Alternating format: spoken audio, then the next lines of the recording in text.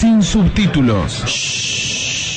Bueno, estamos acá con Andrés Borghi en lo que es el festival o muestra de cine música organizado por Andrea Cato y primero trajiste cortos para pasar cuáles son los cortos.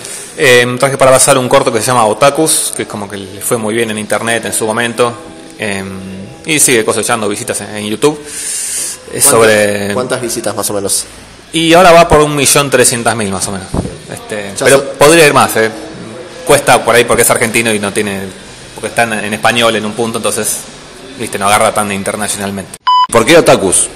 En realidad también había, eh, traje otros cortos, pero eh, la chica que organiza Andrea me dijo, pero trae Totakus también, que es como, como la, el, ¿cómo decirlo? El La hit. del. Claro, el, el que siempre funciona. Entonces por eso traje también el corto. E- Este corto tuvo repercusiones, nos contaste, en Japón, se pasó en la televisión. En ambos casos me contactaron, me dijeron, che, ¿se puede pasar este, tu corto acá en Japón y, y después te mandamos un DVD del programa? Yo, obvio. Y aparte de eso, eh, traje unos capítulos de una serie web que estamos haciendo que se llama Coso, que son como capítulos de un minuto, un minuto y medio sobre pequeños sketches de comedia muy bizarros y extraños y también medios nerd, ¿no? Como que a veces tienen ciertas referencias que agarra el que entiende. Y si no, igual es tan extraño que, que funciona igual, digamos. Es como que siempre el chiste es como tan, im- tan impactante, tan directo, como que va al impacto directo. Entonces, por eso es que en general funciona. ¿Se llama Acoso o Coso? No entendí. Acoso. genérico. Coso se llama, C-O-S-O. ¿Se llama Coso y se ve por YouTube? ¿O Sí. La mejor manera de buscarlo es poner Coso 01, ¿Cuántos capítulos van ya? 9. ¿Y cuál es la idea? ¿Seguir con esto? ¿Un poco más? ¿Cómo vienen las filmaciones? En, como es unitario, eh, digamos, no, no es una historia continua, podemos seguir hasta el año 120 mil millones. Este, es, es un, punto, un punto hasta que nos cansemos, digamos. Y la película que nos estabas contando que ibas a, ibas a tratar de presentar en el Buenos Aires Rojo Sangre este año, que, ¿cómo viene? ¿De qué va? Eh, la película se llama Nacido para Morir y es una comedia con acción, digamos, es como si mezclaras a James Bond con Misión Imposible, con Martillo Hammer, con Iron Man. Ponele. MacGyver, No. MacGyver puede ser, puede ser, porque el tipo también tiene muchas mañas, digamos, se la rebusca. Digamos, tiene como esta cosa del James Bond, que es como un dandy que se viste traje y la tiene siempre clara y siempre sale bien parado, este, pero en Argentina. También tiene esto de Misión Imposible, que es como muy de... Viste que todas las Misiones Imposibles siempre tienen un plano que es el plano de la peli, tipo el espectacular, que siempre está en el trailer, tipo en la 1 es cuando explota el helicóptero y el tipo sale volando y cae en el tren, después en, Sí. en la 3 hay un misilazo que le pega un auto y el tipo sale volando. Siempre hay un plano de efectos especiales que es como el plano. Bueno, eso también lo tiene la peli.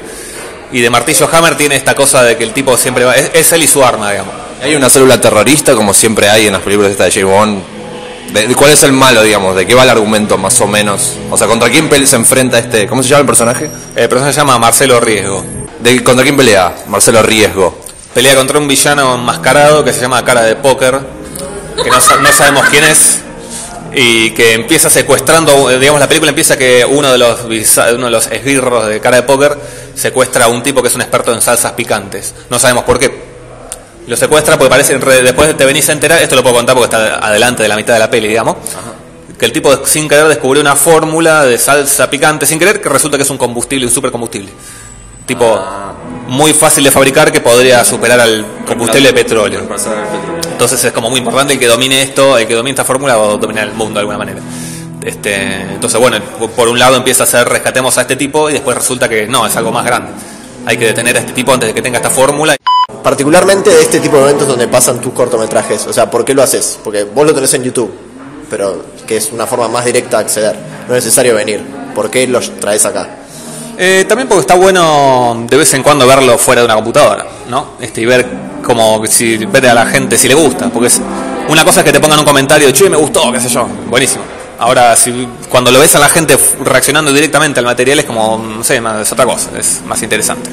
Nacido para Morir tiene algún otro canal de difusión, digamos, ¿pensás subirla a YouTube en algún momento? ¿Vas a buscar algún apoyo de alguna organización? Por ahora estamos viendo, ¿no? Porque nos falta todavía filmar una pequeña parte de la película para terminarla. Y yo creo que el Buenos Aires Rojo Sangre junto con el Festival de Mar del Plata, que son los dos a fin de año, son como mi, meta, ¿no? Tipo, tengo que terminarla para esa fecha. Y de ahí en adelante empezaremos a ver. No sé si lo- lograré estrenarla comercialmente, espero que sí.